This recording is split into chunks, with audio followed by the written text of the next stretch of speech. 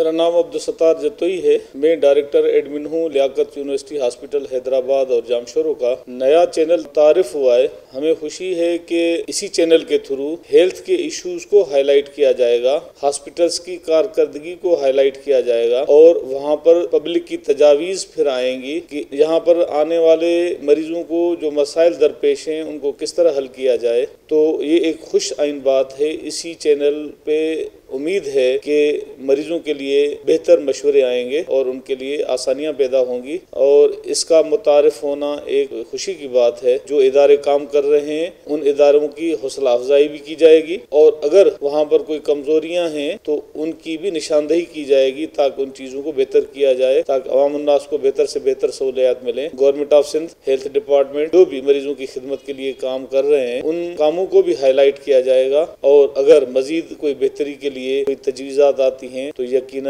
हम भी अपने इदारे को बेहतर से बेहतर करने की कोशिश करेंगे और इसी तरह हम हायर अथॉरिटीज तक भी ये इशूज कन्वे करेंगे। मैं मुबारकबाद देता हूँ हेल्थ टीवी ऑनलाइन की इंतजामिया को, जिन्होंने इस चैनल को लॉन्च किया है।